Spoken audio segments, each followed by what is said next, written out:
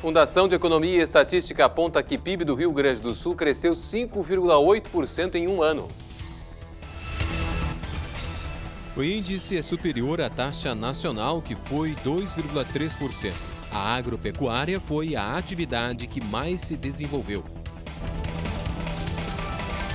Usuários do transporte coletivo de Porto Alegre não abrem mão de mais espaço e ar-condicionado nos novos ônibus. Quarta faixa da Freeway será liberada hoje à tarde.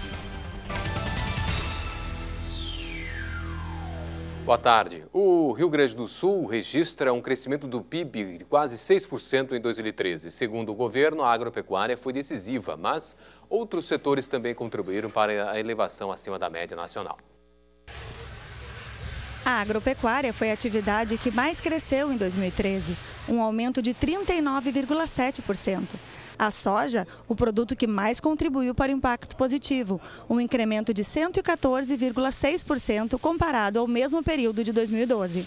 6,8% de produção e PIB 5,8%. Então, são dois dados é, totalmente positivos para o Estado. Isso só demonstra a confiança do governo do Estado nas estratégias que tanto o governo brasileiro como o governo do Estado e o setor empreendedor do Estado tem feito, tem desenvolvido, portanto, nós temos que apostar na produção, na ampliação da oferta de crédito. Nós não podemos menosprezar aqui essa tendência, mais uma vez confirmada, do crescimento da indústria gaúcha. E agora, com novas áreas né, de indústria também já apresentando os primeiros resultados, como a indústria naval e outras áreas.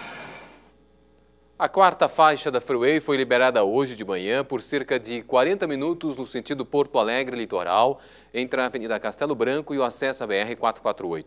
Mesmo com a pista concluída, ainda ocorre bloqueio para a colocação da iluminação e finalização das barras de concreto. Segundo a Concepa, a partir das quatro da tarde, o tráfego de veículos estará liberado. A liberação no sentido oposto, litoral Porto Alegre, está prevista para segunda-feira, mas ainda depende de condições climáticas favoráveis. Para a construção dos mais de 5 quilômetros da pista, nos dois sentidos, a Concepa investiu 9 milhões de reais. A obra foi realizada com o objetivo de melhorar a mobilidade na região metropolitana. O projeto prevê a extensão da faixa até Gravataí e a criação de novos acessos para melhorar o fluxo de veículos da rodovia.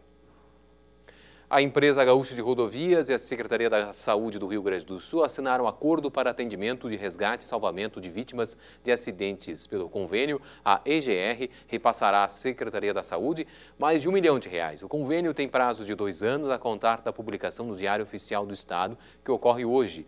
Toda a malha administrada pela EGR, que é de aproximadamente mil quilômetros, terá a cobertura do Serviço de Atendimento Imóvel Móvel de Urgência, o SAMU.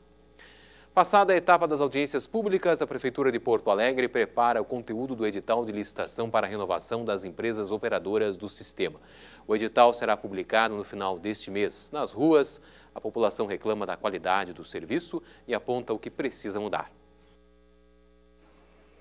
A empresa ou consórcio que oferecer pela menor tarifa o pacote de serviços aos passageiros conforme o edital sairá vencedora da licitação e deverá ser recompensada se atrair novos usuários para o sistema de transporte coletivo. Nós tivemos 23 reuniões com a, a, a, a rodada do orçamento participativo, muitas demandas né, de, de, dessas reuniões já foram contempladas no edital.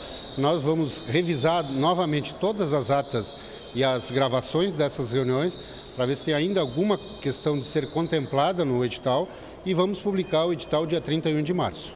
Mas para se ter mais espaço nos ônibus, ou seja, comportar não mais do que quatro passageiros por metro quadrado, é preciso aumentar o número e o tamanho dos ônibus. Hoje, Porto Alegre tem uma frota de 1.700 veículos. Tem dias assim que a gente sai, pega a criança na creche para ir para casa, é uma tortura. Quanto melhor for o conforto dentro do, dos, dos transportes coletivos, é, eu acredito que a população vai ser estimulada a utilizar. Muitas vezes pega o ônibus lotado, não tem onde sentar, muito acima da lotação. Outra reivindicação dos usuários é a climatização da frota. Condicionado assim, ó, indiscutível, isso já era para ter há muito tempo. Isso aqui é um país tropical. Horrível, né?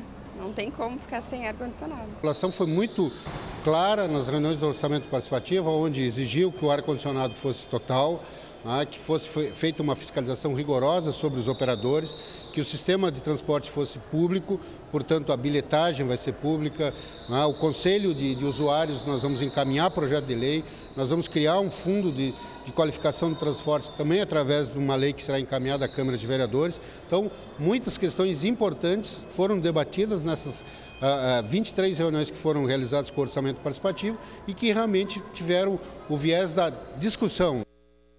Veja depois do intervalo.